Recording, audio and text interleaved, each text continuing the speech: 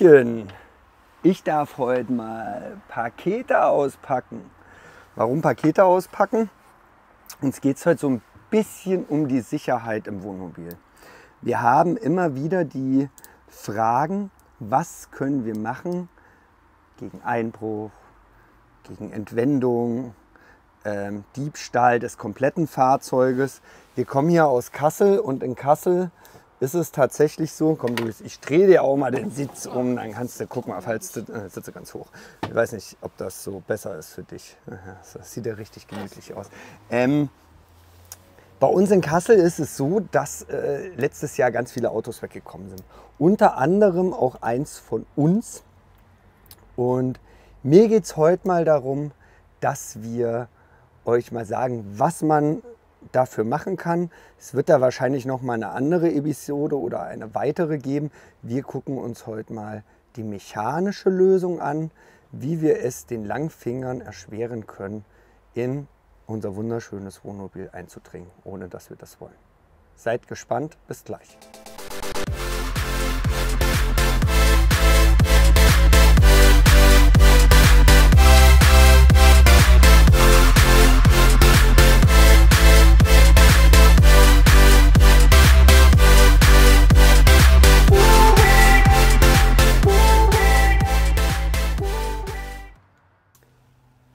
Mechanische Lösung. Mechanische Lösung, um ein Wohnmobil vor sagen wir mal, Einstieg äh, zu schützen. Warum ist das grundsätzlich mal wichtig? Also ich sehe es eigentlich so, dass wir, dass wir grundsätzlich mal vier Punkte haben, die, die, äh, die wichtig sind, dass unser Fahrzeug nicht wegkommt. Erstmal ähm, haben wir hier bei uns auch ein Fahrzeug äh, entwendet äh, bekommen. Ähm, man sieht tatsächlich an dem Fahrzeug keine groben Schäden. Ähm, es war dann in dem Fall tatsächlich nur so, dass wir ein, ähm, äh, die, äh, das, das, Zündschloss sozusagen aufgebrochen war. Das Zündschloss war der, der Lenkradschutz aufgebrochen, aber die Tür war eigentlich aus meiner Sicht offensichtlich unbeschädigt. Warum weiß ich das? Weil wir das Fahrzeug wiedergefunden haben. Darauf komme ich später aber nochmal zurück. Also grundsätzlich haben wir das Problem, Fahrzeug ist weg. Das ist schon mal schlecht, weil ich kann nicht mehr im Urlaub fahren. Dann haben wir das Problem, Fahrzeug taucht vielleicht wieder auf. Dann will ich in dem Zustand, wie das wieder auftaucht, will ich vielleicht gar nicht mehr in Urlaub fahren, weil das sieht dann nicht mehr so schön aus. Also habe Kunden äh, gehört, die gesagt haben, äh, das hat echt in der Seele wehgetan, das Auto dann wieder zu sehen. Äh, dann haben wir das Problem, wenn es weg ist und ich habe den Anspruch, ein neues zu bekommen, auch wenn die Versicherung zahlt, wann kriege ich denn ein neues? Wir haben immer noch Wartezeiten von teilweise anderthalb bis zwei Jahren, immer noch. Obwohl uns immer gesagt worden ist, es wird ein bisschen besser, es ist was besser geworden, aber so gut, dass es eben nur anderthalb Jahre dauert. Also das trotzdem noch sehr lang die Wartezeit. Und dann haben wir das Problem, was kostet denn das neue mehr? Äh, ich habe einen Kunden, der hat ein gebrauchtes Fahrzeug gekauft von einem Kunden von uns, kam dann auf mich zu, ja, pass auf, ich kam aus dem Schwimmbad und ähm, ich stand vorm Schwimmbad, wollte in das Auto einsteigen und das Auto war einfach weg. Ja, das ist ja super. Der hat, das neue Auto kostet aber jetzt 20.000 Euro mehr.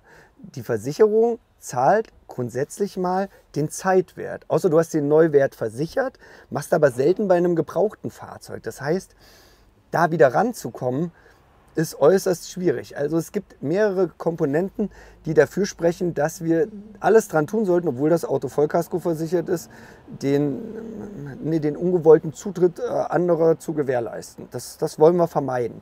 Und deshalb ist aus meiner Sicht der erste Punkt die mechanische Sicherung.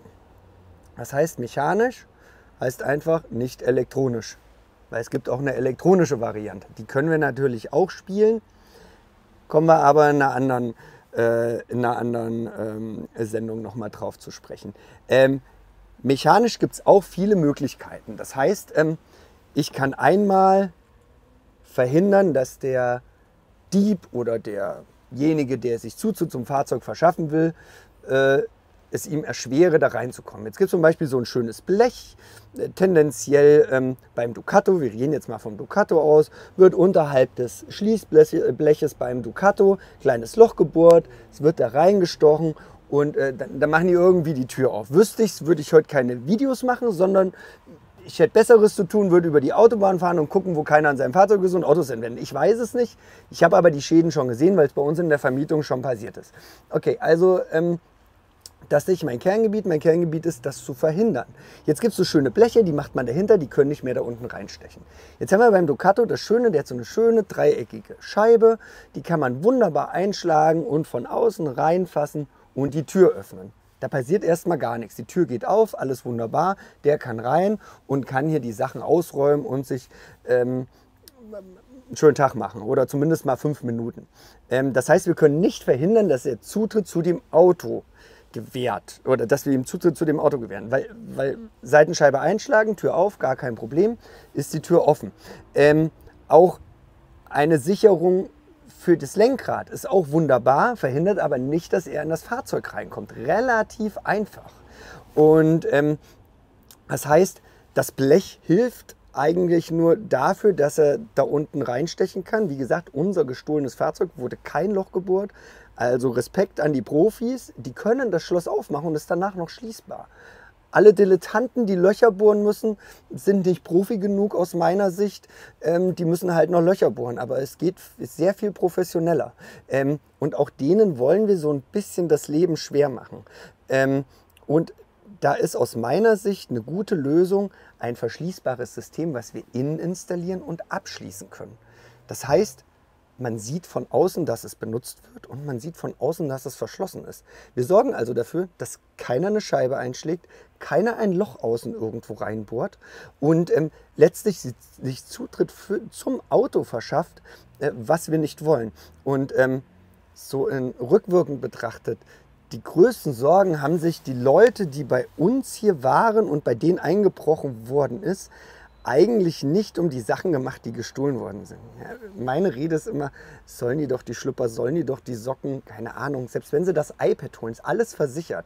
Vielleicht in einer Inhaltsversicherung bieten wir auch an, aber das bringt ja nichts, wenn die Inhaltsversicherung auch zum Neuwert das iPad oder ein, ich sag mal, ein Tablet ersetzt. Wir wollen ja jetzt keine Werbung machen für irgendwelche ähm, äh, äh, äh, na, Endgerätehersteller.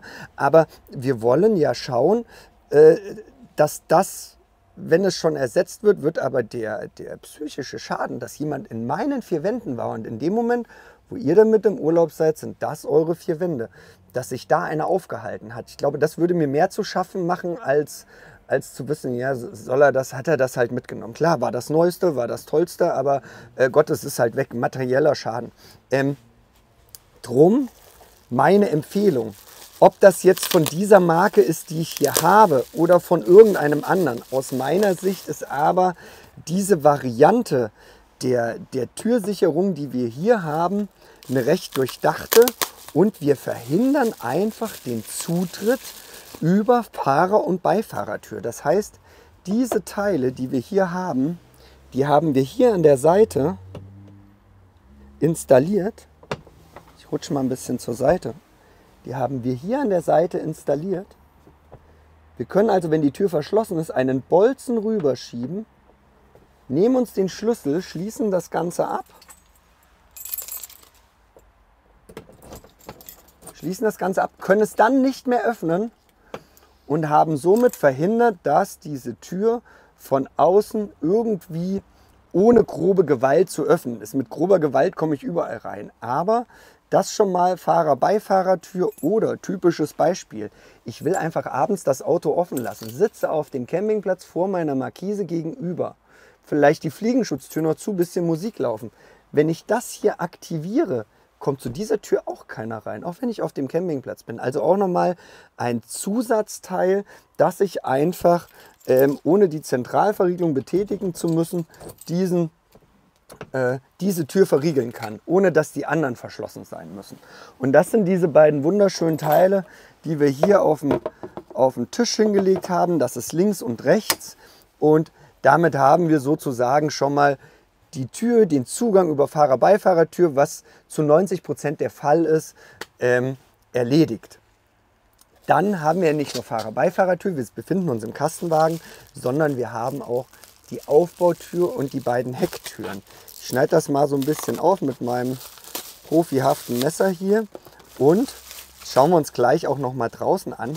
Wir haben auch noch mal Verriegelungen, die eben außen an die Türen angebracht werden, sodass auch der Zutritt zu der Hecktür, zu den beiden Heckflügeltüren und zu der seitlichen Schiebetür verhindert wird. Das heißt, wir haben hier irgendwo das Blech. Hier ist die Tür, die so aufgehen würde. Wir drehen es so rüber und es wird so verriegelt. Können wir uns aber gleich noch mal genauer ansehen. Also das sind so, das ist so das Set jetzt mal für, ein, für einen Kastenwagen. Da gibt es auch noch mal ein Set fürs Wohnmobil. Da werfen wir auch gleich noch mal einen Blick drauf. Set fürs Wohnmobil und auch für alle Serviceklappen. Das heißt, kommt auch keiner in meine Heckgarage. Jetzt kommt der findige Camper und sagt, kriege ich alles viel günstiger hin. Ich mache mir innen an die Tür ein Blech. Gibt es auch ein Blech für die Tür. Das Schöne ist an diesen Sachen, die sind außen angebracht. Die sieht man und die soll man auch sehen. Das Blech, was innen ist, sieht keiner. Wenn einer durch eine Hecktür will, ist bislang noch nicht passiert, aber wer weiß, vielleicht kommen ja die, die Jungs auf neue Ideen. Wenn man durch die Hecktür möchte und mit rober Gewalt da rein will, wird das vielleicht funktionieren. Wenn da aber ein Blech ist, wird also mehr Schaden angerichtet, der kommt da sicherlich nicht rein oder nicht so einfach. Aber der Schaden, den er anrichtet, der ist ja auch am Fahrzeug dran. Das heißt, mit sowas, wo ich offensichtlich sage, pass auf, ich habe was gegen den Einbruch getan oder gegen den Versuch, sage ich offensichtlich, es wird verdammt schwer. Und wir können es nur erschweren. Wir können es, glaube ich, nicht verhindern. Wenn da Profis am Werk sind, wird es aus meiner Sicht schwer, es zu verhindern.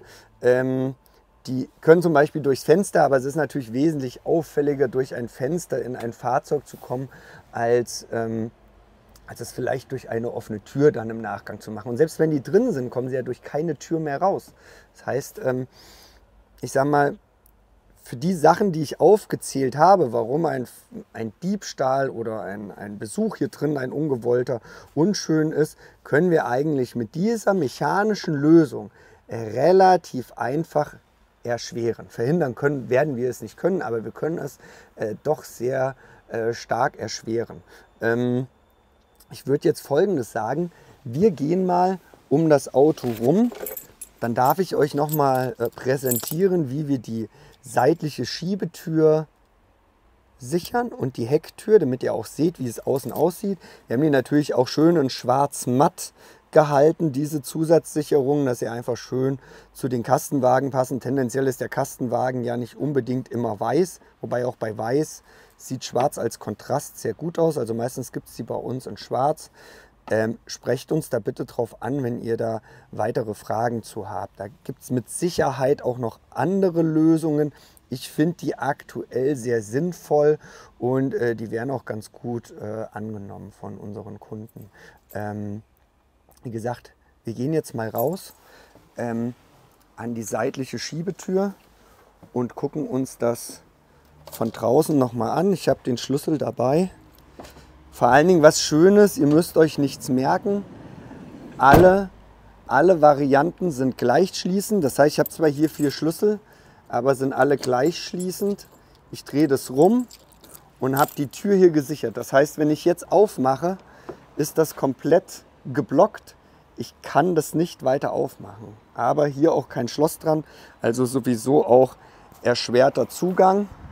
Ähm, genauso ist es hinten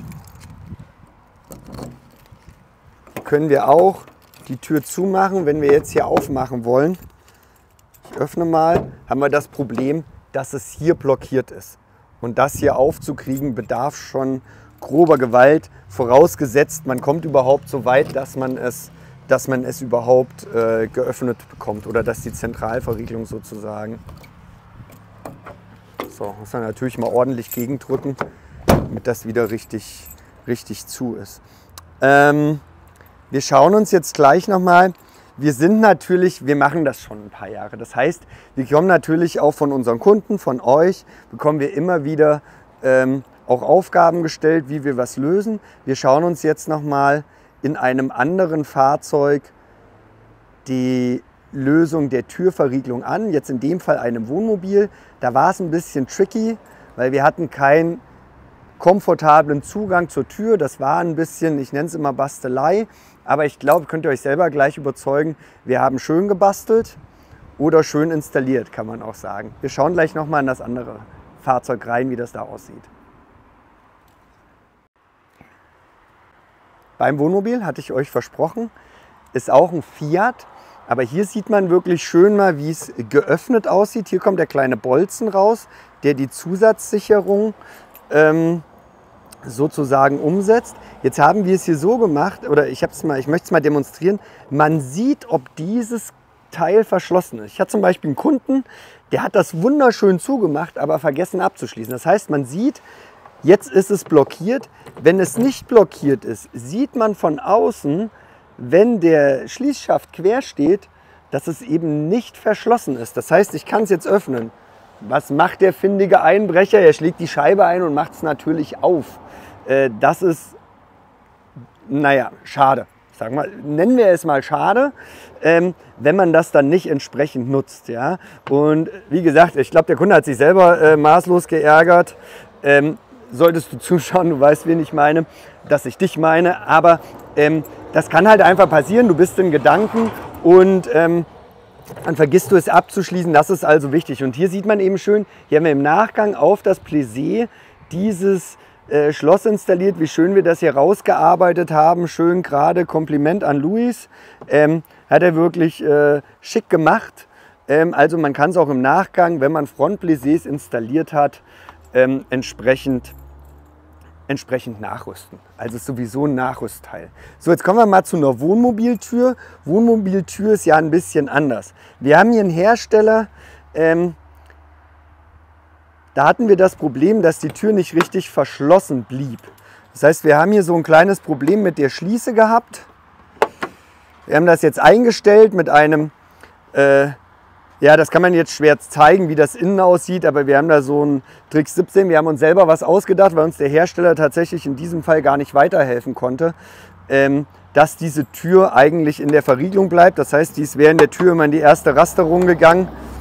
Das war nicht so toll. Wir haben jetzt dem Kunden als Zusatzsache nochmal dieses HeoSafe-System als Zusatzsicherung eingebaut. Das heißt, wir haben jetzt geguckt, dass wir relativ nah an das Schloss kommen, weil wenn es zu weit unten ist, zu weit oben, bringt es nichts. Und hier haben wir einen schönen Innenrahmen gemacht, weil es schwer ist, diese Tür hier einfach ein Schloss zu installieren. Das heißt, wir mussten das hier herausarbeiten, haben den Adapterrahmen herumgemacht. Und hier ist der Vorteil, hier kann ich von innen verriegeln und von außen. Ähm, das heißt, ich bin abends in meinem Fahrzeug, mache Fahrer-Beifahrertür zu, schließe ab und mache hier diesen Zusatzbolzen rein und verschließe die Tür an sich und mache diesen Zusatzbolzen dazu, damit ich äh, nochmal eine Zusatzsicherung habe. Und das gleiche gilt, wenn ich es natürlich von außen verriegelt habe und möchte es jetzt hier verschließen. Und sollte diese Tür jetzt in die erste Rasterung fallen, kann sie nicht aufgehen. Wir sind sicher, die Tür ist dennoch verschlossen, weil wir eben diese Zusatzverriegelung haben. Also hier zwei Fliegen mit einer Klappe geschlagen. Die Tür kann nicht mehr, kann nicht mehr von alleine aufgehen. Und wir haben den äh, Vorteil eines Zusatzschlosses. Hier kann also jetzt relativ wenig passieren. Also durch solche Türen geht ungern einer, der schnell in ein Fahrzeug rein will und möglichst schnell wieder raus, ohne Aufsehen zu erregen. Und wie gesagt, das ist unser Ziel. Ich werde euch auch noch mal, wenn ich es nicht schon im Vorfeld getan habe, noch mal ein paar äh, Fotos einblenden über alle Zusatztüren hinten. Das heißt, wir haben auch für Stauraumtür einen, ähm, für die Stauraumtür eine entsprechende Sicherung für beide, dass eben über die Heckgarage auch niemand Zutritt zum Auto bekommen kann. Auch bei den Serviceklappen sollten wir darauf achten, dass wir die nötige Sicherung einhalten. Weil es bringt uns nichts, wenn wir Fahrer-Beifahrertür gesichert haben und hinten über die Staugarage, vielleicht mit einem Durchgang zwischen den Betten, kommt doch einer irgendwie ungewollt in dieses Fahrzeug. Deshalb nochmal als kleine Ergänzung haben wir natürlich auch die Verschließmöglichkeiten der Klappen hier integriert. In der Mitte logischerweise. Ähm, Gibt es auch von außen. Ich finde es ganz schön, wenn es von innen ist, weil dann kann man es auch, na, super abgeschlossen. Ja, jetzt habt ihr auch von innen die Verriegelung, ja, dass es eben auch von innen verriegelt werden kann. Ähm, Ist jetzt hier nicht der Fall, weil wir kommen sonst nicht in die Heckgarage.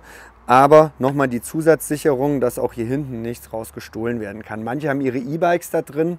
Ähm, wenn derjenige weiß, dass dort E-Bikes drin sind, könnte es ein Argument sein, sich mal an der Tür äh, zu versuchen und zu gucken, ob man reinkommt. Wenn die Riegel, die sind äh, relativ klein, wir machen es also zusätzlich schwer, dass, äh, dass hier wirklich sich Zugang verschafft wird. Deshalb vielleicht auch nochmal bei den Serviceklappen nochmal darauf achten, dass wir entsprechend die Sicherheit einbauen. Die mechanische Sicherheit spricht uns an. Wir können da echt ein gutes Angebot machen. Wir werden vielleicht auch noch mal im Herbst eine Aktion mit diesen Schlössern fahren. Das kostet natürlich hier insgesamt ein bisschen mehr. Da ist man schon mit Aus- und Einbauen und Nachbessern und Messen ist man schon etwas länger dran. Das ist kein Standardeinbau, bloß wir wollten es gescheit machen, damit es einfach gut aussieht. Ich danke euch vielmals fürs Zuhören. Wenn es euch gefallen hat, Einfach einen Daumen hoch, würde uns freuen.